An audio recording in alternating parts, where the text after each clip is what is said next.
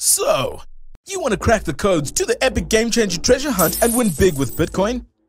Well, you came to the right place. So let me quickly explain to you how it works. I'm sure you know what Bitcoin is and that it's stored in a Bitcoin wallet, right?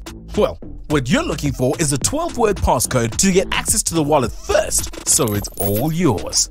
So let's say you found the first hidden code in the EES music video, which might not make sense at first, but then you realize, for example, it looks like a binary number.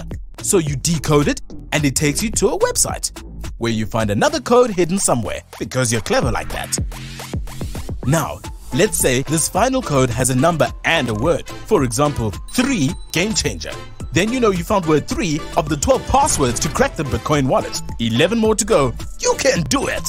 But don't worry, if you get lost, have a look at the official Reddit page for all the detailed information and maybe even connect with others who also want to crack the code. Because teamwork makes the dream work. Okay, basically, there's no rules. We just want you to have fun searching for the codes and get to know EES through his music and vibes. See, there are no big music labels behind this, just an independent artist who wants to change the game. And now, to all the really cool people out there that may have some Bitcoin to spare, we encourage you to donate to the public wallet. Link is below and make this treasure hunt even more exciting. How do we say in Africa? If not, why not?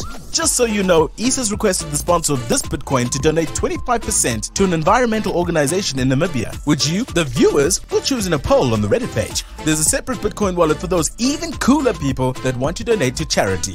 All info below. Okay, enough talking. Let the hunt begin. Yes, yeah.